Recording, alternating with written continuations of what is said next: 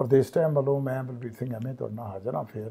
ਅੱਜ ਇੱਕ ਐਸਾ ਪ੍ਰੋਗਰਾਮ ਲੈ ਕੇ ਕਿਉਂਕਿ ਪਿਛਲੇ ਹਫ਼ਤੇ ਵੀ ਮੈਂ ਬਰੈਂਪਟਨ ਤੋਂ ਤੁਹਾਡੇ ਲਈ ਰਜਿੰਦਰ ਸਿੰਘ ਜਿਸ ਤਰ੍ਹਾਂ ਗੁਰਾਇਆ ਸਾਹਿਬ ਦੇ ਨਾਲ ਤੁਹਾਡੀ ਗੱਲਬਾਤ ਕਰਾਈ ਸੀ, ਉਹ ਵੀ ਤੁਸੀਂ ਸਾਨੂੰ ਵੇਖ ਸਕਦੇ ਹੋ ਟੀਵੀ ਤੇ। ਤੇ ਅੱਜ ਅਸੀਂ ਇੱਕ ਹੋਰ ਸ਼ਖਸੀਅਤ ਲੈ ਕੇ ਹਾਜ਼ਰ ਹੋਏ ਹਾਂ, ਜਿਹੜੇ ਇਸੇ ਤਰ੍ਹਾਂ ਦਾ ਕੁਝ ਕਰਦੇ ਨੇ, ਜਿਹਦੇ ਨਾਲ ਤੁਹਾਡੀ ਸਰੀਰ ਨੂੰ ਕੁਝ ਲਾਹੇਵੰਦ ਗੱਲਾਂ ਮਿਲਦੀਆਂ ਨੇ। ਤੇ ਮੇਰੇ ਮਨ ਚ ਆਇਆ ਕਿ ਅਸੀਂ ਤੁਹਾਡੇ ਤੱਕ ਇਹ ਵੀ ਗੱਲਾਂ ਪਹੁੰਚਾਈਏ। ਤੁਸੀਂ ਸਾਡਾ ਚੈਨਲ ਲਾਈਕ ਵੀ ਕਰੋ ਤੇ ਉਹਨੂੰ ਸਬਸਕ੍ਰਾਈਬ ਵੀ ਜ਼ਰੂਰ ਕਰਿਆ ਕਰੋ। ਪ੍ਰਦੇਸ਼ ਟਾਈਮ ਵੱਲੋਂ ਜਿਹੜੀ ਵੀ ਗੱਲਬਾਤ ਕੀਤੀ ਜਾਂਦੀ ਤੁਹਾਡੇ ਤੱਕ ਜਲਦੀ ਪਹੁੰਚ ਜਾਏਗੀ। ਬਰੈਂਪਟਨ ontario ਟੋਰਾਂਟੋ ਤੋਂ ਤੁਹਾਡੇ ਲਈ ਲੈ ਕੇ ਮੈਂ ਹਾਜ਼ਰ ਹਾਂ ਅੱਜ ਦਾ ਪ੍ਰੋਗਰਾਮ। ਮੇਰੇ ਨਾਲ ਨੇ ਸੱਜਣ ਮਿੱਤਰ ਉਹਨਾਂ ਤੋਂ ਅਸੀਂ ਉਹਨਾਂ ਦਾ ਨਾਮ ਪੁੱਛਦੇ ਹਾਂ। ਭਾਈ ਸਾਹਿਬ ਜੀ ਤੁਸੀਂ ਆਪਣਾ ਨਾਮ ਦੱਸੋ ਪਹਿਲਾਂ ਤਾਂ। ਵਾਹਿਗੁਰੂ ਜੀ ਖਾਲਸਾ ਵਾਹਿਗੁਰੂ ਜੀ ਕੀ ਫਤਿਹ ਜੀ ਤੇ ਆਪਣਾ ਸ਼ੁਭ ਨਾਮ ਦੱਸੋ ਜੀ। ਮੇਰਾ ਸ਼ੁਭ ਨਾਮ ਹੈ ਜਸਵੀਰ ਸਿੰਘ ਰਾਏ। ਜਸਵੀਰ ਸਿੰਘ ਰਾਏ। ਤੇ ਤੁਸੀਂ ਇੱਥੇ ਬਰੈਂਪਟਨ ਚ ਕਿੰਨੇ ਕੁ ਚਿਰ ਤੋਂ ਰਹਿੰਦੇ ਹੋ? ਮੈਂ ਬ੍ਰਹਮਟਨ 'ਚ ਤਕਰੀਬਨ 20 ਸਾਲ ਤੋਂ। 20 ਸਾਲ ਹੋ ਗਏ ਤੁਹਾਨੂੰ ਤੁਸੀਂ ਕੀ ਵਿਦਿਆ ਹਾਸਲ ਕੀਤੀ ਆ ਕਿ ਜਿਹੜਾ ਤੁਸੀਂ ਕੰਮ ਕਰਦੇ ਹੋ ਉਹਦੇ ਬਾਰੇ ਅਸੀਂ ਗੱਲਬਾਤ ਕਰਨੀ ਆ?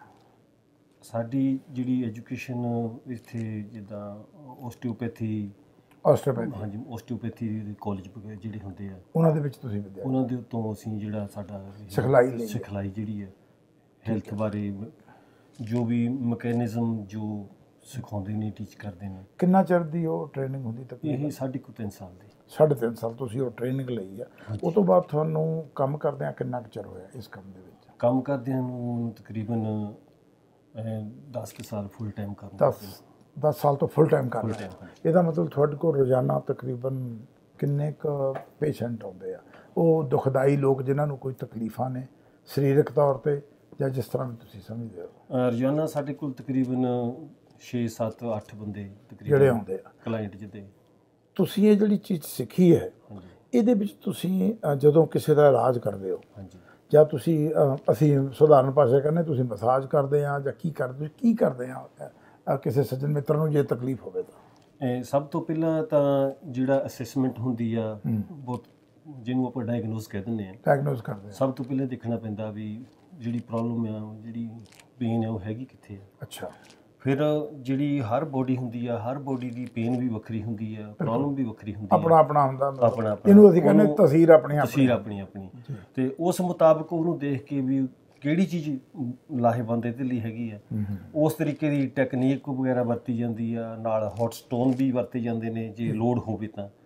ਪਲੱਸ ਜਿਹੜੀਆਂ ਆਸਟੀਓਪੈਥੀ ਟੈਕਨੀਕ ਆ ਤੇ ਉਹ ਸਮੇਂ ਲੋਡ ਮੁਤਾਬਕ ਬੋਡੀ ਦੀ ਮਸਲ ਦੀ ਹੈਲਥ ਦੇਖ ਕੇ ਜਿੱਥੇ ਜਿੱਥੇ ਮਸਲ। ਦੀ ਤਕਲੀਫ ਆ ਹਾਂਜੀ। ਤੁਸੀਂ ਉੱਥੇ ਉੱਥੇ ਗਰਮ ਕੱਪੜਾ ਰੱਖਦੇ ਆ ਸਟੋਨ ਰੱਖਦੇ ਆ ਕੀ ਕੀ ਰੱਖਦੇ ਅਸੀਂ ਉਹ ਦੇ- ਮਤਲਬ ਸਾਡੇ ਕੋਲ ਹੀਟ ਪੈਡ ਵੀ ਹੁੰਦੇ ਆ। ਹੀਟ ਪੈਡ ਹੁੰਦੇ ਆ। ਹੌਟ ਸਟੋਨ ਵੀ ਹੁੰਦੇ ਆ। ਜੀ। ਪਲੱਸ ਜਿਹੜੀ ਇੱਕ ਟ੍ਰਿਗਰ ਪੁਆਇੰਟ ਥੈਰੇਪੀ ਹੁੰਦੀ ਹੈ ਅਸੀਂ ਉਹ ਵੀ ਨਾਲ ਤੁਸੀਂ ਨਾਲ ਨਾਲ। ਕਰਦੇ ਆ ਤਾਂ ਕਿ ਜਿਹੜਾ ਵੀ ਇਨਸਾਨ ਉਸ ਚੀਜ਼ ਤੋਂ। ਦੁਖਦਾਈ ਹੈ ਜਾਂ ਗ੍ਰਸਤ ਹੋਇਆ ਉਹਦੇ ਵਿੱਚ ਉਹਨੂੰ ਕਿਸੇ ਤਰ੍ਹਾਂ ਵੀ ਆਰਾਮ ਦੇਣ ਲਈ ਹਾਂਜੀ ਰਾਤ ਮਿਲ ਸਕੇ ਹਾਂਜੀ। ਉਹਨੂੰ ਰਾਹਤ ਮਿਲ ਸਕੇ। ਤੇ ਇਹ ਮਸਾਜ ਟਾਈਪ ਹੁੰਦਾ ਜਾਂ ਕਿਸ ਤਰ੍ਹਾਂ ਦਾ? ਇਹ ਦੋਵੇਂ ਟਾਈਪ ਹੀ ਆ।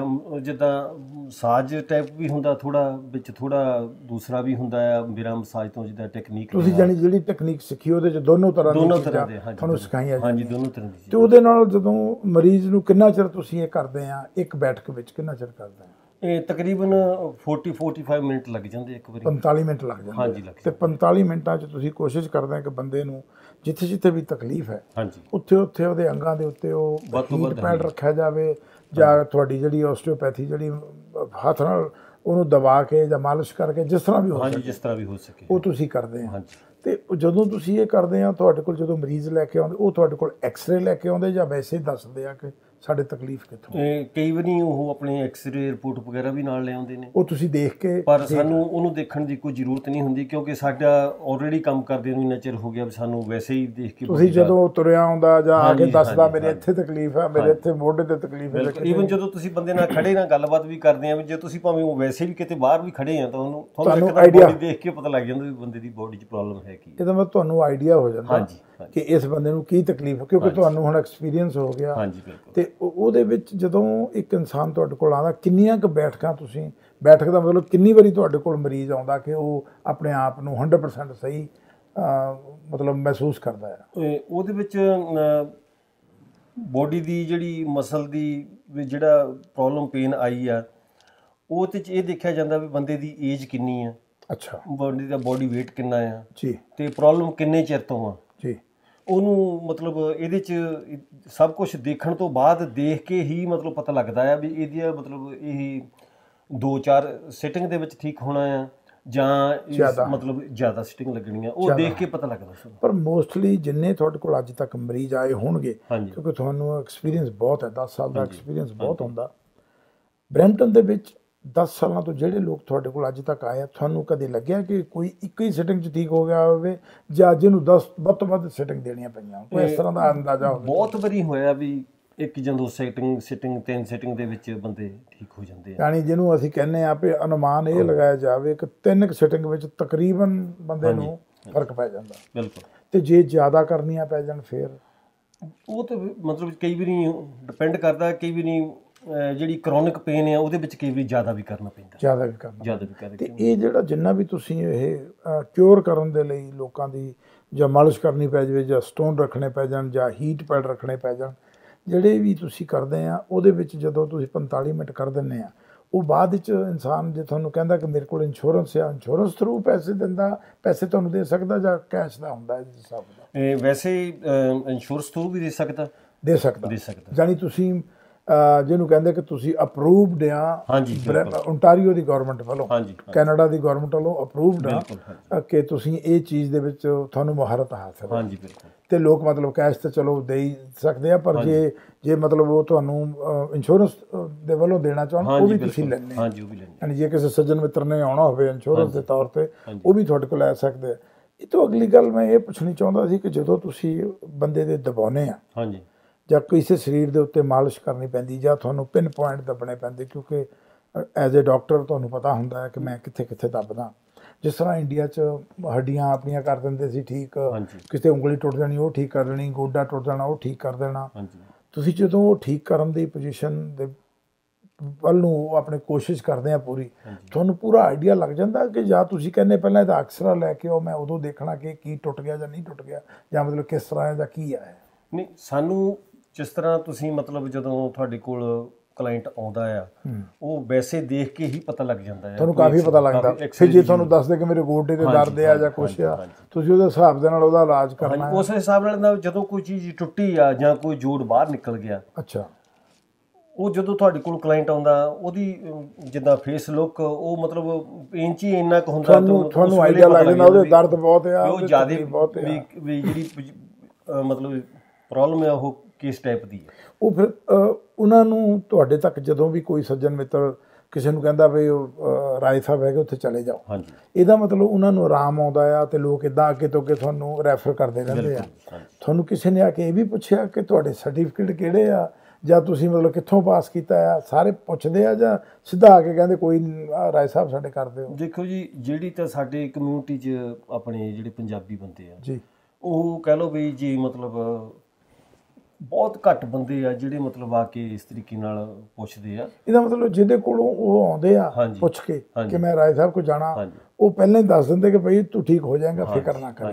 ਪਰ ਕਈ ਲੋਕ ਅ, ਵਹਿਮ ਵਿੱਚ ਵੀ ਹੁੰਦੇ ਹਾਂਜੀ ਆ ਉਹਨਾਂ ਨੂੰ ਫਿਰ ਦੱਸ ਦਈਦਾ ਵੀ ਆਹ ਦੇਖ ਲਓ ਸਾਡੇ ਇਹ ਕੋਲ। ਸਾਡੇ ਸਰਟੀਫਿਕੇਟ ਆ ਇਹ ਸਾਡੇ ਡਿਗਰੀਆਂ ਤੁਸੀਂ ਦੇਖ ਲਓ ਇਹਦੇ ਹਿਸਾਬ ਦੇ ਨਾਲ ਜੇ ਸਾਡੇ ਕੋਲ ਇਲਾਜ ਕਰਾਉਣਾ। ਇਦਾਂ ਨਹੀਂ ਕਿ ਤੁਸੀਂ ਮਤਲਬ ਉਹਨਾਂ ਨੂੰ ਕਿਸੇ ਨੂੰ ਕੰਪੈਲ ਨਹੀਂ ਕਰਦੇ ਕਿ ਤੁਸੀਂ ਆ ਗਏ ਤੇ ਹੁਣ ਕਰਾ ਲਓ। ਜਾਂ- ਉਹ ਚਾਹਣ ਤਾਂ। ਬਿਲਕੁਲ। ਤੇ ਤੁਹਾਡੇ ਕੋਲ ਜਿਹੜਾ ਵੀ ਇਲਾਜ ਕਰਾਉਣਾ ਹੁੰਦਾ। ਉਹਦੀ ਪ੍ਰਾਈਵੇਸੀ ਰੱਖਦੇ ਆ ਤੁਸੀਂ। ਮਤਲਬ ਇਹ ਨਹੀਂ ਕਿ ਕਿਸੇ ਬਾਹਰ ਬੰਦੇ ਬੈਠੇ ਨੂੰ ਮਰੀਜ਼ ਦਾ ਪਤਾ ਲੱਗੇ ਉਹਦੇ ਕਿੱਥੇ ਦਰਦ ਹੈ ਜਾਂ ਕੀ। ਜੀ, ਨਹੀਂ, ਕੋਈ ਜੋ ਡਾਕਟਰੀ ਇਲਾਜ ਜਿੱਥੇ ਹੁੰਦੇ ਆ ਹਾਂਜੀ। ਉਹ ਖਾਸ ਕਰਕੇ ਇਹ ਚੀਜ਼ਾਂ ਦਾ ਬਹੁਤ ਖਿਆਲ ਰੱਖਦੇ ਆ। ਸਾਡਾ ਸਭ ਤੋਂ ਜ਼ਿਆਦਾ ਮੇਨ ਜਿਹੜਾ ਪ੍ਰਾਈਵੇਸੀ ਦਾ ਖਿਆਲ ਰੱਖਣਾ ਬਹੁਤ ਜ਼ਿਆਦਾ ਚਾਹੀਦਾ ਕਿਉਂਕਿ ਇਹਨਾਂ ਦੇਸ਼ਾਂ ਵਿੱਚ ਲੋਕ ਮਾੜੀ ਮਾੜੀ ਗੱਲ ਤੋਂ ਕਹਿੰਦੇ ਜੀ ਪ੍ਰਾਈਵੇਸੀ ਨਹੀਂ ਹੈਗੀ ਉੱਥੇ ਅਸੀਂ ਨਹੀਂ। ਜਾਣਾ ਵਾਪਸ। ਹਾਂਜੀ। ਤੇ ਅੱਜ ਤੱਕ ਕੋਈ ਤੁਹਾਨੂੰ ਇਦਾਂ ਲੱਗਿਆ ਹੋਵੇ ਕਿ ਮਰੀਜ਼ ਤੁਹਾਡੇ ਵੱਲੋਂ ਠੀਕ ਕਰਤਾ ਗਿਆ ਹੋਵੇ? ਤੁਹਾਨੂੰ ਜਾ ਕੇ ਉਹ ਇਤਰਾਜ਼ ਕਰਦਾ ਹੋਵੇ ਕਿ ਭਾਈ ਮੈਂ ਤਾਂ ਸਿਟਿੰਗ ਤਿੰਨ ਲਈਆਂ ਮੈਂ ਹਜੇ ਵੀ ਨਹੀਂ ਠੀਕ ਹੋਇਆ। ਤੁਸੀਂ ਕਹਿਤਾ ਹੋਵੇ ਕਿ ਦੋ ਤਿੰਨ ਸਿਟਿੰਗ ਲੈ ਲਾ। ਕਦੇ ਇਦਾਂ ਤਾਂ ਨਹੀਂ ਹੋਇਆ ਕਿ ਤੁਹਾਨੂੰ ਕੋਈ ਇਸ ਗੱਲੋਂ ਨਾਰਾਜ਼ ਹੋਇਆ ਹੋਵੇ ਕਿ ਤੁਸੀਂ ਤਿੰਨ ਸਿਟਿੰਗ ਕਿਹਾ ਸੀ ਮੈਂ ਠੀਕ ਨਹੀਂ ਹੋਈ ਚੌਥੀ ਸਿਟਿੰਗ ਕਿਉਂ ਲੈਣੀ ਪੈ ਗਈ? ਫਿਲਹਾਲ ਕਦੀ ਇਦਾਂ ਦਾ ਧਿਆਨ ਚ ਆਈ ਨਹੀਂ ਕਦੀ ਕੋਈ ਗੱਲ? ਪਰ ਤੁਸੀਂ ਆਪਣੇ ਵੱਲੋਂ ਪੂਰੀ ਹਾਂਜੀ। ਅ, 100% ਕੋਸ਼ਿਸ਼ ਕਰਦੇ ਹੋ ਕਿ ਇਸ। ਬੰਦੇ ਨੂੰ ਚਾਹੇ ਇਸ ਭੈਣ ਨੂੰ ਜਾਂ ਵੀਰ ਨੂੰ ਕਿਸੇ ਨੂੰ ਵੀ ਅਗਰ ਤਕਲੀਫ ਆ ਕਿ ਆਰਾਮ ਆ ਜਾਏ ਵੱਧ ਤੋਂ ਵੱਧ ਇਹ ਚੱਕਰ ਹੈ। ਹਾਂਜੀ। ਤੁਸੀਂ ਕਦੋਂ ਦੇ ਇੱਥੇ ਆਏ ਆ ਇਸ ਦੇਸ਼ ਦੇ ਵਿੱਚ? ਮੈਂ ਅਹ 2002 ਚ ਆਇਆ ਸੀ ਜੀ। ਪਹਿਲਾਂ ਪਿੱਛੋਂ ਕਿੱਥੋਂ ਆ ਤੁਸੀਂ? ਸਾਡਾ ਡਿਸਟ੍ਰਿਕਟ ਜਲੰਧਰ ਜੀ। ਗੁਰਾਇਆ ਬੋਪਾ ਰਾਏ ਪਿੰਡ ਹੈਗਾ ਜੀ। ਤੁਹਾਡਾ ਬੋਪਰ ਆਏ ਤੋਂ। ਤੁਹਾਡੇ ਪਿਤਾ ਜੀ ਦਾ ਨਾਮ ਉਹਨਾਂ ਦਾ ਸਰਦਾਰ ਦਲਜੀਤ ਸਿੰਘ ਰਾਏ।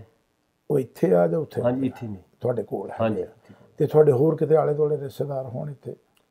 ਜਿਨ੍ਹਾਂ ਤੋਂ ਜੇ ਕੋਈ ਪੁੱਛ ਕੇ ਆਣਾ ਚਾਹੇ ਤੇ ਕੋਈ ਅਮਰੀਕਾ 'ਚ ਰਿਸ਼ਤੇਦਾਰ ਹੋਵੇ? ਹਾਂਜੀ ਪਰ ਜਿੱਦਾਂ ਬਹੁਤੇ ਜ਼ਿਆਦਾ ਨਹੀਂ ਹੈਗੇ। ਜ਼ਿਆਦਾ ਨਹੀਂ। ਹਾਂਜੀ। ਕੋਈ ਰਿਸ਼ਤੇਦਾਰ ਦੂਰ ਨੇੜੇ ਦਾ ਹੈ? ਜਿਹਦੇ ਕੋਲ ਜੇ ਲੋਕ ਉਹਨਾਂ ਨੂੰ ਪੁੱਛ ਲੈਣ ਵੀ ਉਹਨਾਂ ਦੇ ਵਾਕਫ ਹੋਣ ਵੀ ਭਈ ਅਸੀਂ ਰਾਏ ਸਾਹਿਬ ਕੋ ਜਾਣਾ ਤਾਂ ਤੁਹਾਡੇ ਬੰਦੇ ਆ ਹਾਂਜੀ ਪਰ ਜ਼ਿਆਦਾ ਮੈਂ ਇਹਦੇ ਬਾਰੇ ਕਹਿ ਨਹੀਂ ਸਕਦਾ। ਕਹਿ ਨਹੀਂ ਸਕਦਾ। ਕਿਉਂਕਿ ਵੈਸੇ ਕਈ ਵਾਰੀ ਕਈ ਵਾਰੀ ਹੁੰਦਾ ਕਿ ਬੰਦਾ ਕਹਿੰਦਾ ਲੈ ਮੇਰੇ ਫਲਾਣੇ ਦਾ ਰਿਸ਼ਤੇਦਾਰ ਆ ਤੁਸੀਂ। ਉਹਨਾਂ ਨੂੰ ਪੁੱਛ ਕੇ ਦੇਖ ਲਓ ਮੈਂ ਕੀ ਕੀ ਕਰਦਾ ਆ ਤੁਹਾਨੂੰ ਕੀ ਆਸ ਹੈ ਕਿ ਜੇ ਤੁਸੀਂ ਬ੍ਰੈਂਪਟਨ ਚ ਰਹਿੰਦੇ ਆ ਤੁਹਾਡੇ ਕੋਲ ਕੋਈ ਕੈਲੀਫੋਰਨੀਆ ਤੋਂ ਆਉਂਦਾ ਜਾਂ ਅਮਰੀਕਾ ਦੇ ਕਿਸੇ ਹੋਰ ਕੋਨੇ ਤੋਂ ਆਉਂਦਾ ਜਾਂ ਕੈਨੇਡਾ ਦੇ ਹੋਰ ਕੋਨੇ ਤੋਂ ਆਉਂਦਾ ਜਾਂ ਕਿਸੇ ਪਾਸੇ ਵੀ ਆਉਂਦਾ ਤੁਸੀਂ ਉਹਨਾਂ ਨੂੰ ਕੀ ਯਕੀਨ ਦਵਾ ਕੇ ਘੱਲੋਗੇ ਕਿ ਉਹ ਦੂਰੋਂ ਐਡੀਆਂ ਆ ਕੇ ਤੁਹਾਡੇ ਕੋਲ ਕਿੰਨਾ ਕੁ ਚਿਰ ਰਹਿਣ ਜਾਂ ਕਿਸ ਤਰ੍ਹਾਂ, ਕੀ ਕਰਨ ਕਿ ਤੁਹਾਡੇ ਕੋਲ ਆ ਕੇ ਉਹ ਇਲਾਜ ਕਰਾ ਸਕਣ? ਤੁਸੀਂ ਕੀ ਸਹੂਲਤ ਉਹਨਾਂ ਦੇ ਲਈ ਦੇ ਸਕਦੇ ਆ ਜਾਂ ਉਹਨਾਂ ਦੀ ਮਦਦ ਕਰ ਸਕਦੇ ਆ ਮੰਨ ਲਓ ਤੁਹਾਨੂੰ ਉਹ ਫੋਨ ਕਰਦੇ ਕਿ ਭਾਈ ਸਾਹਿਬ ਜੀ ਅਸੀਂ ਕੈਲੀਫੋਰਨੀਆ ਤੋਂ ਆਣਾ ਸਾਨੂੰ ਤਕਲੀਫ ਆ। ਸਾਡੇ ਕੋਲ ਰਹਿਣ ਨੂੰ ਕੋਈ ਜਗ੍ਹਾ ਨਹੀਂ।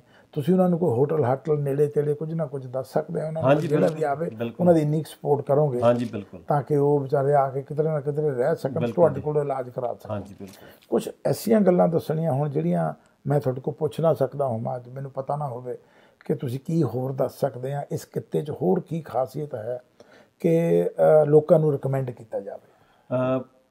ਪਹਿਲੀ ਗੱਲ ਤਾਂ ਇਹ ਹੈਗੀ ਆ ਵੀ ਜਿਹੜੀ ਤੁਸੀਂ ਜਿੱਦਾਂ ਗੱਲਬਾਤ ਕੀਤੀ ਆ ਵੀ ਰეკਮੈਂਡ ਕੀਤਾ ਜਾਵੇ ਸਾਡੀ ਮੋਸਟਲੀ ਕੀ ਦੇਖਣ ਵਿੱਚ ਆਉਂਦਾ ਜਿਹੜੀ ਸਾਡੀ ਪੰਜਾਬੀ ਕਮਿਊਨਿਟੀ ਹੈਗੀ ਆ ਇਹਦੇ ਵਿੱਚ ਜਿਹੜਾ ਮਤਲਬ ਜੋ ਹੈਲਥ ਹੈਲਥ ਬਾਰੇ ਮਤਲਬ ਜਿਹੜੀ ਅਵੇਅਰਨੈਸ ਹੈ ਨਾ ਉਹ ਤੁਸੀਂ ਕਹਿ ਲਓ ਵੀ ਬਹੁਤ ਜ਼ਿਆਦਾ ਘੱਟ ਆ। ਜ਼ਿਆਦਾ ਨਹੀਂ ਹੈ ਜਾਣੀ। ਮਤਲਬ ਤੁਸੀਂ ਕਹਿ ਲਓ ਵੀ ਅਹ 10% ਹੀ ਆ। ਜਸ 10% ਹੈਗੀ ਹੈ, 90% ਹੈ ਨਹੀਂ। 90% ਹੈ ਇਹਦਾ ਮਤਲਬ ਸਾਡੇ ਲੋਕਾਂ ਨੂੰ ਇਹਦੇ ਲਈ ਅਵੇਅਰ ਹੋਣਾ ਚਾਹੀਦਾ। ਅਵੇਅਰ ਹੋਣਾ ਬਹੁਤ ਜ਼ਿਆਦਾ ਜ਼ਰੂਰੀ ਹੈ। ਕਿ ਸਾਡੇ ਜੇ ਕਿਤੇ ਤਕਲੀਫ ਆ ਜਾਂ ਸਾਡੇ ਮੋਢਾ ਦੁਖਦਾ ਜਾਂ ਲੱਤ ਦੁਖਦੀ ਆ ਸਾਨੂੰ ਉਹ ਚ ਕੁਤਾਹੀ ਨਹੀਂ ਕਰਨੀ ਚਾਹੀਦੀ। ਆਪਣੇ ਡਾਕਟਰ ਕੋਲ ਆਪਣੇ ਮਸਾਜ ਵਾਲੇ ਕੋਲ ਆਸਟੀਓਪੈਥੀ ਕੋਲ ਕਿਸੇ ਨਾ ਕਿਸੇ ਪਾਸੇ ਜਿਸ ਤਰ੍ਹਾਂ ਅਸੀਂ ਕਹਿੰਦੇ ਜੀ ਉਹ ਕਿਉਰੋਪ੍ਰੈਕਟਰ ਤੇ ਜਾਂਦੇ ਆ ਸਾਡੇ ਅਮਰੀਕਾ 'ਚ ਸਾਡੇ ਕਿਉਰੋਪ੍ਰੈਕਟਰ ਜ਼ਿਆਦਾ ਹੁੰਦੇ ਆ। ਬਿਲਕੁਲ ਜੀ ਹਾਂ। ਬੰਦਾ ਕਹਿੰਦਾ ਵੀ ਮੈਂ ਤਾਂ ਕਿਉਰੋਪ੍ਰੈਕਟਰ ਕੋਲ ਚੱਲਿਆ। ਉਹ 3-4 ਮਹੀਨੇ ਕਿਉਰੋਪ੍ਰੈਕਟਰ ਕੋਲ ਲਾਉਂਦਾ ਬੜੇ ਪੈਸੇ ਫੂਕਦਾ ਫਿਰ ਵੀ ਨਹੀਂ ਆਰਾਮ ਆਉਂਦਾ ਕਈ ਵਾਰੀ। ਕਈ ਵਾਰੀ ਉਹ ਮਸਾਜ ਵਾਲੇ ਕੋਲ ਜਾਂਦਾ ਫਿਰ ਵੀ ਨਹੀਂ ਆਰਾਮ ਆਉਂਦਾ। ਤੁਹਾਨੂੰ ਲੱਗਦਾ ਕਿ ਜਿਹੜਾ ਕਿਉਰੋਪ੍ਰੈਕਟਰ ਕੋਲੋਂ ਜਾਂ ਮਸਾਜ ਵਾਲੇ ਕੋਲ ਆਰਾਮ ਨਹੀਂ ਆਉਂਦਾ ਉਹ ਤੁਹਾਡੇ ਕੋਲੋਂ ਕੁਝ ਫ਼ਰਕ ਪੈ ਸਕਦਾ? ਹਾਂ ਬਿਲਕੁਲ ਪੈ ਸਕਦਾ ਜੀ। ਦੂਸਰੀ ਗੱਲ ਇਹ ਹੈਗੀ ਆ ਜਿਹੜੀ ਅਬ ਤੁਸੀਂ ਮੈਂ ਗੱਲ ਕਰ ਕਰਕੇ ਹਟੇ ਵੀ ਉਹ ਕਦੀ ਕਾਰੋਪੈਕਟਰ ਕੋ ਜਾਂਦੇ ਜਾਂ ਮਸਾਜ ਵਾਲੇ ਕੋ ਜਾਂਦੇ ਆ। ਜਿਹੜੀ ਮਸਾਜ ਹੈ ਨਾ ਮਸਾਜ ਤਾਂ ਤੁਸੀਂ ਕੋਸ਼ਿਸ਼ ਕਰੋ ਵੀ ਜਿੱਥੇ ਵੀ ਕੋਈ ਬੰਦਾ ਜਿਹੜਾ ਡੀਪ ਟਿਸ਼ੂ ਮਸਾਜ ਕਰਦਾ ਹੈ ਨਾ। ਅੱਛਾ ਉਹਦੇ ਕੋਲ। ਉਹਦੇ ਕੋਲ ਤੁਸੀਂ ਕਿਸੇ ਜਗ੍ਹਾ ਤੇ ਵੀ ਰਹਿੰਦੇ ਆ। ਅੱਛਾ ਤੁਸੀਂ ਡੀਪ ਡੀਪ ਹਾਂਜੀ, ਟਿਸ਼ੂ ਵਾਲੀ ਕਰਾਈ ਮਸਾਜ ਥੋੜੀ ਜੀ ਦਬਾ ਕੇ ਹੁੰਦੀ ਹੈ। ਮੇਰੇ ਖਿਆਲ ਚਾਈਨੀਜ਼ ਲੋਕ ਕਰਦੇ ਆ। ਤੇ ਉਹ ਕੋਸ਼ਿਸ਼ ਕਰੋ ਵੀ ਵਨਸ ਅ ਮੰਥ ਤੁਸੀਂ ਜਿੱਥੇ ਵੀ ਰਹਿ ਰਹੇ ਹੋ ਜਿਸੇ ਕਰਾ- ਵੀ ਰਹਿ ਰਹੇ ਹੋ। ਆਪਣੇ ਲਾਗੇ ਫਾਈਂਡ ਆਊਟ ਕਰਕੇ ਕੋਈ ਵੀ ਵਧੀਆ ਬੰਦਾ। ਜੇ ਤੁਹਾਨੂੰ ਇੱਕੋ ਵਾਰੀ ਜਾਣਨਾ ਨਹੀਂ ਵਧੀਆ ਬੰਦਾ ਲੱਭਦਾ ਤੁਸੀਂ ਦੋ ਚਾਰ ਵੱਖਰੇ ਵੱਖਰੇ ਬੰਦੇ ਟਰਾਈ ਕਰੋ। ਜਾਨੀ ਡੀਪ ਮਸਾਜ ਹਾਂ ਡੀ ਮਸਾਜ ਵਾਲਾ ਜਦੋਂ ਤੁਹਾਨੂੰ ਬੰਦਾ ਲੱਭ ਪਿਆ ਉਹਦੇ ਕੋਲ ਤੁਸੀਂ ਆਪਣਾ ਵਨਸ ਅ ਮੰਥ ਪੱਕਾ ਮਤਲਬ ਜਿੱਦਾਂ ਪੱਕੀ ਰੁਟੀਨ ਜਿਹਨੂੰ ਅਸੀਂ ਕਹਿੰਦੇ ਆ ਤਾਂ ਕਿ ਤੁਹਾਡਾ ਸਰੀਰ ਬਿਲਕੁਲ ਤਾਂ ਤੰਦਰੁਸਤ ਕਿ ਤੁਹਾਨੂੰ ਕੋਈ ਪ੍ਰੋਬਲਮ ਜਿੱਦਾਂ ਕਰੋਨਿਕ ਪੇਨ ਜਾਂ ਕਦੇ ਚੁੱਕ ਪੈ ਗਈ ਕਦੇ ਕੁਝ ਹੋ ਗਿਆ ਕਦੇ। ਮੋਢਾ ਖੜ ਗਿਆ। ਹਾਂਜੀ ਜੇ ਤੁਸੀਂ ਵਨਸ ਮੰਥ ਇਸ ਚੀਜ਼ ਨੂੰ ਰੈਗੂਲਰ ਕਰੋਗੇ ਜਿਹੜੇ 90% ਚਾਂਸ ਆ ਤੁਹਾਨੂੰ ਹਾਰਟ ਅਟੈਕ ਦੇ ਪੈਰਾਲਾਈਜ਼ ਦੇ ਉਹ ਘਟ ਜਾਂਦੇ ਆ। ਅੱਛਾ। ਹਾਂਜੀ ਪਰ ਆਪਣੇ ਇਹਦਾ ਮਤਲਬ ਹਾਰਟ ਅਟੈਕ ਤੇ ਪੈਰਾਲਾਈਜ਼ ਨਾਲ ਵੀ ਇਹਦਾ। ਸੰਬੰਧ ਹੈ। ਕਿਉਂਕਿ ਜਦੋਂ ਡੀਪ ਟਿਸ਼ੂ ਮਸਾਜ ਹੁੰਦੀ ਆ ਜਦੋਂ ਦਬਾ ਕੇ ਮਸਾਜ ਬੋਡੀ ਦੀ ਹੁੰਦੀ ਆ ਉਹ ਜਿਹੜਾ ਸਰਕੂਲੇਸ਼ਨ ਤੇਜ਼ ਹੋ ਜਾਂਦਾ ਪਲੱਸ ਉਹ ਜਿੱਦਾਂ ਜੇ ਕੋਈ ਥੋੜੀ ਬਹੁਤੀ ਜਿਹੜੀ ਬਲੋਕੇਜ ਆ ਆਰਟਰੀਜ਼ ਦੀ ਉਹ ਉਹਦੇ ਨਾਲ ਜਿਹੜੀ ਕੋਈ ਸਟਾਰਟਿੰਗ ਹੋਈ ਹੁੰਦੀ ਆ ਉਹ ਨਿਕਲ ਜਾਂਦੀ ਆ। ਇਹ ਮੇਰੇ ਸੱਜਣ ਮਿੱਤਰ ਸੁਣਦੇ ਆ ਸਾਨੂੰ ਪ੍ਰਦੇਸ਼ ਟਾਈਮ ਤੋਂ ਅਸੀਂ ਤੁਹਾਡੇ ਪ੍ਰੋਗਰਾਮ ਦਿਖਾ ਰਹੇ ਹਾਂ ਇਹ ਰਾਏ ਸਾਹਿਬ ਨੇ ਬੜੀ ਇੱਕ ਚੰਗੀ ਗੱਲ ਕੀਤੀ ਕਿ ਤੁਹਾਨੂੰ ਹਾਰਟ ਅਟੈਕ ਦੇ ਚਾਂਸਸ ਬਹੁਤ ਘਟ ਜਾਂਦੇ ਆ। ਤੁਹਾਨੂੰ ਕਿਸੇ ਤਰ੍ਹਾਂ ਦਾ ਵੀ ਕੋਈ ਤਕਲੀਫ ਤੋਂ ਪਹਿਲਾਂ ਜੇ ਤੁਸੀਂ ਡੀਪ ਮਸਾਜ ਕਰਾਓ ਤੁਹਾਡੇ ਟਿਸ਼ੂ ਦਬਾਉਣ ਦੇ ਨਾਲ ਉਹ ਤੁਹਾਡੇ ਜਿਹੜੀ ਬਲਾਕੇਜ ਆ ਉਹ ਹਟ ਜਾਂਦੀ ਹੈ ਇਹ ਬੜੀ ਚੰਗੀ ਗੱਲ ਹੈ ਮੈਂ ਪਹਿਲੀ ਵਾਰੀ ਖੁਦ ਵੀ ਸੁਣ ਰਿਹਾ ਮੈਂ ਵੀ ਕੋਸ਼ਿਸ਼ ਕਰਾਂਗਾ ਕਿ ਇਸ ਵਰਡ ਨੂੰ ਇਸ ਗੱਲ ਨੂੰ ਲੋਕਾਂ ਤੱਕ ਲਿਜਾਇਆ ਜਾਵੇ। ਇਹਦਾ ਮਤਲਬ ਤੁਹਾਡਾ ਮੇਨ ਮਤਲਬ ਕਹਿਣ ਦਾ ਮਤਲਬ ਅੱਜ ਦੇ ਇਸ ਇੰਟਰਵਿਊ 'ਚ ਇਹ ਹੈ ਕਿ ਜੇ ਕਿਸੇ ਨੂੰ ਹਾਰਟ ਅਟੈਕ ਹੋਣ ਦੀ ਨੌਬਤ ਤੱਕ ਆਈ ਹੈ ਪਰ ਜੇ ਉਹ ਡੀਪ ਮਸਾਜ ਕਰਾਉਂਦਾ ਆ ਹਾਂਜੀ। ਉਹ ਬਚ ਸਕਦਾ। ਹਾਂਜੀ ਉਹਦੇ ਉਹਦੇ 90% ਚਾਂਸ ਜਿਹੜੇ ਉਹ ਘਟ ਜਾਂਦੇ ਉਹਦੇ ਘਟ ਜਾਂਦੇ ਘਟ ਜਾਂਦੇ ਠੀਕ ਆ। ਤੇ ਤੁਹਾਨੂੰ ਇਸ ਕੰਮ ਨੂੰ ਹੁਣ ਜਿੱਥੇ ਤੁਸੀਂ ਕਰਦੇ ਹੋ ਜਿਹੜਾ ਤੁਹਾਡਾ ਆਫਿਸ ਹੈ ਉਹਦੇ 'ਚ ਤੁਹਾਨੂੰ ਲੱਗਦਾ ਕਿ ਤੁਹਾਡੇ ਕੋਲ ਮਰੀਜ਼ ਬਹੁਤ ਆਉਂਦੇ ਕਿ ਤੁਹਾਨੂੰ ਕਿਤੇ ਹੋਰ ਵੀ ਆਫਿਸ ਖੋਲਣਾ ਪਏਗਾ? ਜਾਂ ਜਿਸ ਤਰ੍ਹਾਂ ਇੰਡੀਆ 'ਚ ਹੁੰਦੇ ਸੀ ਇੱਕ ਦਿਨ ਬਰੈਂਪਟਨ ਵਿੱਚ ਇੱਕ ਦਿਨ ਕੈਲਗਰੀ ਵਿੱਚ ਇੱਕ ਦਿਨ ਐਡਮਿੰਟਨ ਵਿੱਚ ਜਾਂ ਇੱਕ ਦਿਨ ਕੈਲੀਫੋਰਨੀਆ 'ਚ ਇਸ ਤਰ੍ਹਾਂ ਦਾ ਕਿਤੇ ਜੇ ਕਿਤੇ ਚਾਂਸ ਮਿਲੇ ਇਦਾਂ ਬਿਲਕੁਲ ਬਿਲਕੁਲ ਤੇ ਮੋਸਟਲੀ ਇਦਾਂ ਹੁੰਦੀ ਆ ਵੀ ਜਿਹੜਾ ਜਦੋਂ ਤੁਸੀਂ ਹਾਰਡ ਵਰਕ ਕਰਦੇ ਆ ਉਹ ਜਿੱਦਾਂ ਜ਼ਿਆਦਾ ਨਹੀਂ ਤੁਸੀਂ ਮਤਲਬ ਜਿੱਦਾਂ ਜ਼ਿਆਦਾ ਗਿਣਤੀ 'ਚ ਨਹੀਂ ਕਰ ਸਕਦੇ ਹੁੰਦੇ ਜੀ ਮੈਂ ਸਮਝਦਾ। ਉਸ ਇਹਦਾ ਮਤਲਬ ਘੱਟ ਕਰਦੇ ਆ ਹਾਂਜੀ। ਪਰ ਚੰਗਾ ਕਰਨ ਦੀ ਬੈਟਰ ਕਰਦੇ ਆ ਬੈਟਰ ਕਰਦੇ ਮਤਲਬ ਕੋਸ਼ਿਸ਼ ਹੁੰਦੀ ਵੀ ਮਤਲਬ ਗਿਣਤੀ ਨਹੀਂ ਕਰਨੀ ਉਹ ਮਤਲਬ ਕੁਆਲਿਟੀ ਜਿਹੜੀ ਆ ਉਹ ਮੇਨਟੇਨ ਜ਼ਿਆਦਾ। ਕੁਆਲਿਟੀ ਜ਼ਿਆਦਾ ਦੇਣੀ ਕੁਆਂਟੀਟੀ ਨਹੀਂ ਦੇਣੀ ਕਿ ਹਾਂਜੀ, 10 ਬਸ। ਬੰਦਿਆਂ ਦਾ ਕਰਤਾ ਹਾਂਜੀ, 20 ਦਾ। ਜਿਸ ਤਰ੍ਹਾਂ ਇੰਡੀਆ 'ਚ ਕਈ ਵਾਰੀ ਡਾਕਟਰਾਂ ਕੋਲ ਜਾਂਦੇ ਉਹ 50 ਰੁਪਏ ਫੀਸ ਹੈ ਜਾਈ ਜਾਂਦੇ 2 ਮਿੰਟ ਬੈਠਦੇ ਆ ਦਵਾਈ ਦੇ ਕੇ ਤੁਰਦੇ ਉਹ ਕਹਿੰਦੇ ਵੀ ਜਿੰਨੇ ਵੱਧ ਤੋਂ ਵੱਧ ਆਉਣ ਮਰੀਜ਼ ਉਹਨਾਂ ਨੂੰ ਸਾਡੇ ਡਾਕਟਰ ਦਾ ਨਾਮ ਪਤਾ ਲੱਗੇ। ਹਾਂਜੀ।